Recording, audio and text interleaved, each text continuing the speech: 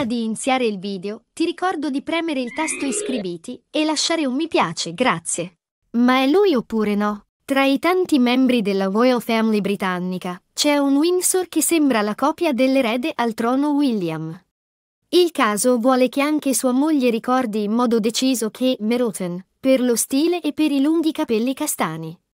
Si tratta di Lord Frederick Windsor e della consorte Sophie Winkleman, il cugino di secondo grado di Re Carlo, 45 anni, e la moglie attrice, 44 anni, hanno preso parte a un concerto natalizio a Piccadilly e molti Royal Watcher non hanno potuto fare a meno di notare la somiglianza con i principi di Galles.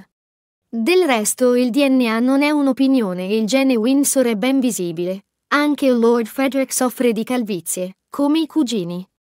L'unico figlio del principe Michael di Kent, cugino primo della compianta Elisabetta II, è al 53 posto in linea di successione al trono britannico. È un analista finanziario ed è sposato con l'attrice dal 12 settembre 2009. La coppia ha due figlie femmine, Mora Elizabeth Daphne Marina, nata nel 2013 a Los Angeles, e Isabella Alexandra May, nata nel 2016 a Londra.